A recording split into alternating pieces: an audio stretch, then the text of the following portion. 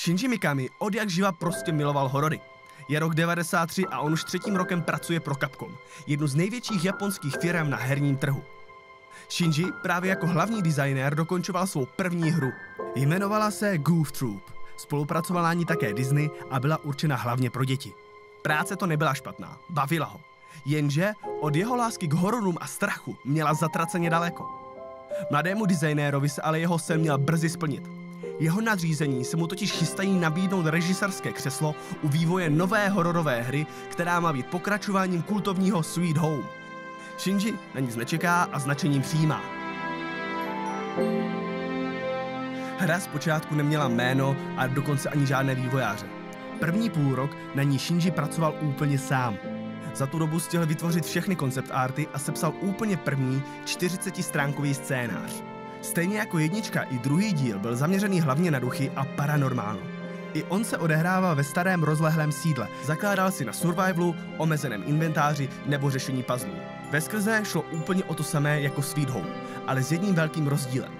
Celá hra byla ve 3D a z pohledu první osoby. Tou dobou vzniklo i první hratelné demo, ze kterého se ale dochoval jen jediný screenshot.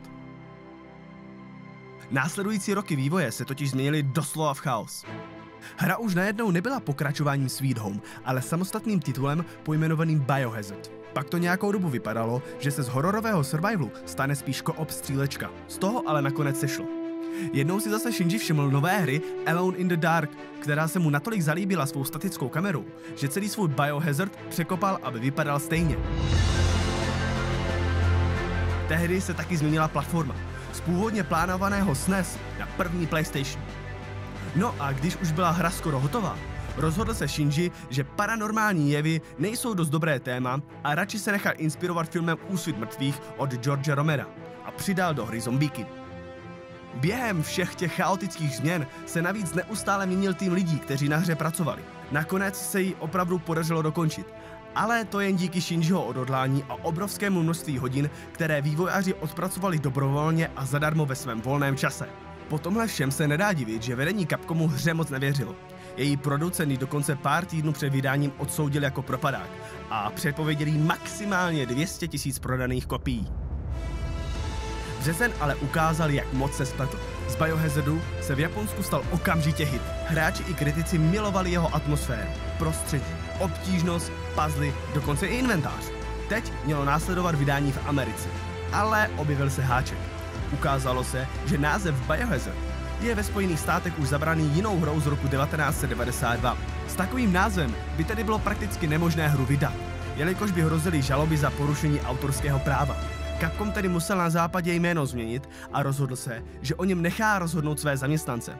Ti vymysleli spoustu návrhů a z nich nakonec skoro jednohlasně vybrali Resident Evil. Od té doby je tedy série známá pod oběma jmény. Záleží jen na tom, v jaké části světa zrovna jsi. První díl byl stále ještě ve výlohách obchodů a Shinji už začal pracovat na druhém. Datum vydání bylo tehdy Capcomem předem stanovené hned na další rok. To se ale zdaleka nepodařilo splnit. I přes spoustu peněz a nových vývojářů, co do hry proudili. Resident Evil 2 nakonec vyšel až v 98. Proč? Hra už byla hotová dokonce celé dva měsíce před původním datem vydání. Vedení studia rozběhlo obří reklamní kampaň za 5 milionů. Všichni hráči byli natěšení a čekali na dokonalou hru. Mezi vývojáři bylo ale cítit nepříjemné napětí. Shinji se nedokázal zhodnout s kolegou Hidekim, který druhý díl místo něj režíroval snad ani na jedné věci. Díky tomu neměl vývoj řád a ze hry se stával jakýsi myšmaš. Capcom si proto v únoru pozval profesionálního scénáristu, aby ji nestranně posoudil. Když ji dohrál, vyžádal si scénář a celý ho roztrhal na malé kousíčky. Tehdy Shinji musel vývoj přerušit, odložit datum vydání a začít na novo. Všech 50 vyčerpaných vývojářů, co na hře celý rok tvrdě dřeli, se pustilo znovu do práce. Museli přepsat úplně všechny dialogy. Ty sice ani v nebyly kdo ví jak chytré, ale tentokrát to v původní verzi bylo prý ještě horší. That was too close. You were almost a Jill sandwich. You're right. Barry, thanks for saving my life. Nový scénárista taky zavrhl Shinjiho myšlenku, aby Resident Evil 2 celou sérii ukončil. Místo toho sám napsal otevřený konec, aby mohly vzniknout i další díly. Podobných změn bylo ještě spoustu, až nakonec z původní verze zbyl jen engine, pár lokací a vedlejších postav. Samotný Shinji později tuhle špatnou verzi hry nazval Resident Evil 1,5 a od té doby ji nikdo neřekne jinak. Během dalšího roku byla celá hra přepracována. Po vydání se stala zase hitem, prodala přes 5 milionů kopií a zajistila sérii slibnou budoucnost. Proto Capcom hned po vydání vytváří tři samostatné vývojářské týmy, které budou pracovat na několika hrách Resident Evil současně. Dvě z nich měly být menší spin-offy, ten třetí plnohodnotné pokračování, které vedl Hideki, režisér druhého dílu. Táhle hra se měla celá odehrávat na velké jachtě a bylo v plánu ji vyvíjet aspoň tři roky. Začátkem roku 99 Sony ale nečekaně oznámilo druhé PlayStation a Hidekiho hra byla přitom celou tu dobu vyvíjena na první PlayStation. Nemělo by smysl vydávat hru na starou konzoli, když už by přes dva roky existovala nová. A tak musel být celý projekt bohužel zase zrušen. Capcom musel rychle jednat. Právě přišli o miliony dolarů, které museli nějak nahradit. Proto vzali druhý tým pod vedením Shinjiho, který pracoval na jedné z těch menších postranních her. Trochu přepsali scénář, nasadili na ní víc vývojářů a udělali tak z malé nedůležité hry oficiální třetí pokračování. To vychází téměř okamžitě, aby ještě stihlo přeběhnout to druhé PlayStation.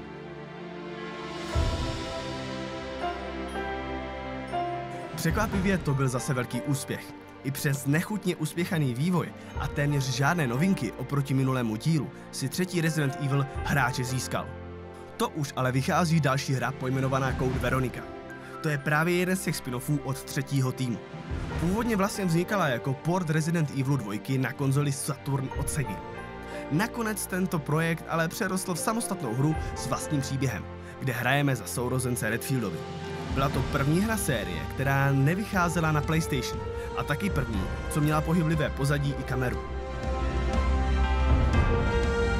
Později Veronika vyšla i na to druhé a dokonce i na třetí PlayStation.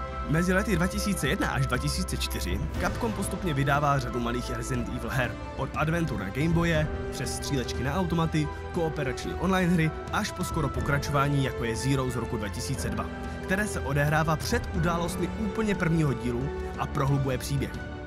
A když už jsme u té jedničky, ve stejném roce vyšel ještě její remake. Na tomto pracoval po dlouhé době zase hlavně Shinji, který celou hru překopal do 3D. Upravil scénář, pozměnil puzzle a přidal pár lokací. Původně měl úplně stejný remake vzniknout o rok později, i pro Resident Evil 2. To už se ale nikdy nestalo. Všechny tyto hry od remakeu až po automatovky vydělali opravdu jen mizivé množství peněz. Hry byly pořád o tom samém. Stejné ovládání, stejné prostředí, stejný gameplay. Unavovalo to dokonce už i vývojáře, kteří začali od série pomalu odcházet na jiné projekty. To bylo pro Capcom jasné znamení, že nikdo už další odbočky prostě nechce. Všechny týmy se tedy opět dávají dohromady a posledních několik měsíců společně dokončují Resident Evil 4. Vraťme se ale na chvíli do roku 2000. Když byl Hideki se svým týmem odvolán z vývoje Resident Evil 3, začali i hned pracovat na čtverce, která byla vyvíjena už rovnou na druhé PlayStation. Hideki ale chtěl změnu. V jeho nově vznikající hře bylo daleko více akce. Protagonista měl nadpřirozené schopnosti a bojoval s nepřáteli na blízko. Pro takový typ hry se ale už nehodila statická kamera z pozadí a tak vývojáři rozhodli, že vyzkouší dynamický pohled z třetí osoby. Na to se vydali do Evropy, aby u nás nafotili různé sochy, chrámy, cihly a stěny, ze kterých potom vytvořili textury. Jak ale vývoj pokračoval, hra se čím dál tím víc oddalovala od minulých dílů. Tehdy se ozval Shinji, otec celé série, kterému se ani trochu nelíbilo, co s ní Hideki hodlá udělat. Naštěstí se mu Hidekiho podařilo přesvědčit, aby vývoj zrušil.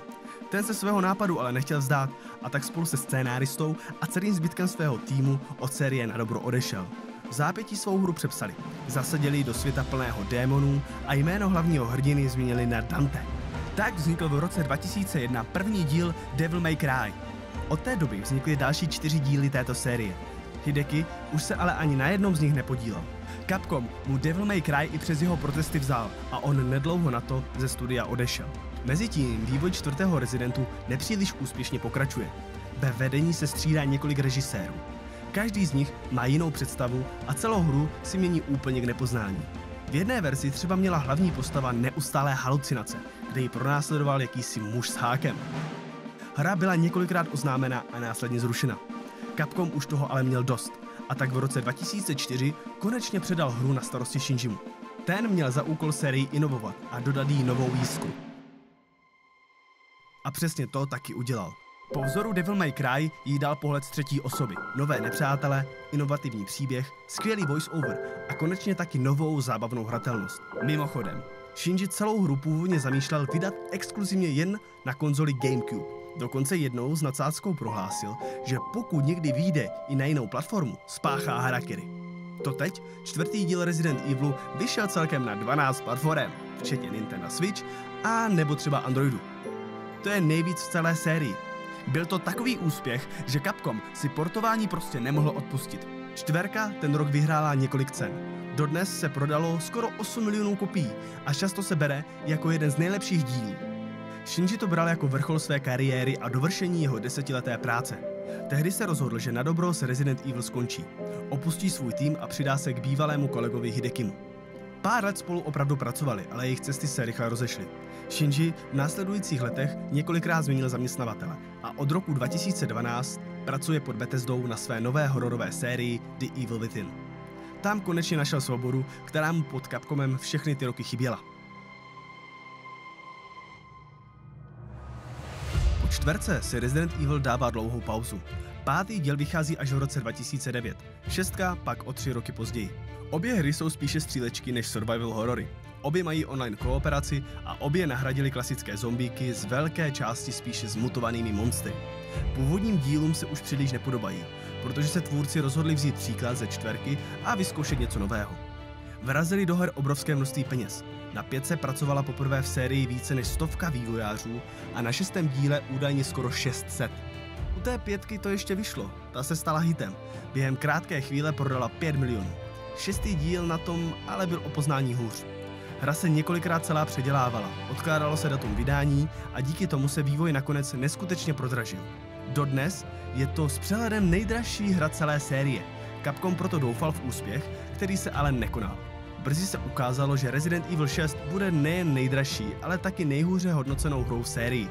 Kritikům se nelíbily dialogy, rozdělení příběhu na čtyři kampaně, otravné quicktime eventy nebo horší grafika. Prodeje sice nakonec pomalu vystoupaly až na slušných 9 milionů, ale tvůrcům bylo moc dobře jasné, že takhle už to příště nepůjde. V Capcomu tehdy proběhla velká diskuze o budoucnosti série. Tady přichází na scénu Koshi Nakanishi, který navrhuje návrat ke kořenům. Vedení se jeho nápad zalíbí, dávají mu volnou ruku a režisérský post. Je rok 2013 a začíná vznikat sedmý Resident Evil. Koshi nejprve vytváří vlastní engine, který umožňuje i podporu virtuální reality. To se později bude hodit, protože po vydání malého VR dema je o ní takový zájem, že se celá hra od roku 2015 musí neplánovaně předělat, aby se dala hrát i na ní. Po engineu vzniká scénář, pak vývojáři začínají kreslit první koncept arty. A nezůstali jen u nich. Některé důležité herní scény dokonce sami natočili, aby se jim potom ve hře lépe animovali. Tohle je třeba slavná scéna z večeře.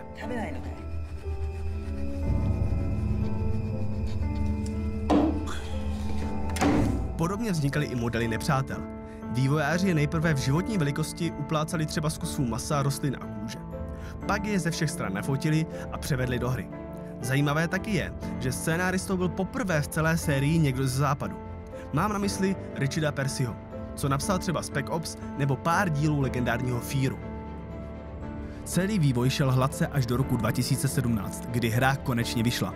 Byla celkově přijata velice dobře a díky ní se k sérii vrátili i hráči, kteří kvůli minulým dvěma dílům odešli. Koshi dokázal oprášit všechno krásné z původního Shinjiho dílu. Vrátil se horor, vrátila se nekompromisní obtížnost, vrátily se staré dobré časy, kdy hry byly ještě úplně jiné než dnes. Sedmý Resident Evil vydělal během měsíce všechno, co stál jeho vývoj. Do dalších dvou měsíců už prodal 3,5 ze 4 milionů kopií, které Capcom předpovídal. A ještě jeden měsíc potom se držel na místě druhé nejprodávanější hry na světě. Dodnes vydělal přes 350 milionů dolarů, což z něj dělá sedmou nejúspěšnější hru série. Kdybychom to vzali dohromady, všechny díly by Capcomu vydělali asi 30 miliard dolarů. Tím se Resident Evil stává nejprodávanější franšízou Capcomu a dokonce asi 17. nejúspěšnější herní sérií vůbec. Nikdy to s ním nebylo jednoduché. Snad každý díl měl během vývoje nějaký problém, ale pokaždé se našel někdo, kdo ho dokázal napravit. Těmto lidem dnes vděčíme za 24 nezapomenutelných her a nejen za ně. Jen díky nim vzniklo na motivy série taky 11 celovečeráků, senu knížek a nespočet komiksů. Jen díky nim tu máme hry jako Outlast, Amnesia nebo třeba Until Dawn. Resident totiž před více než 20 lety nevědomky odstartoval nový žánr videoher, na kterých vyrůstala celá generace hráčů. A dost možná ještě vyrůstat budou.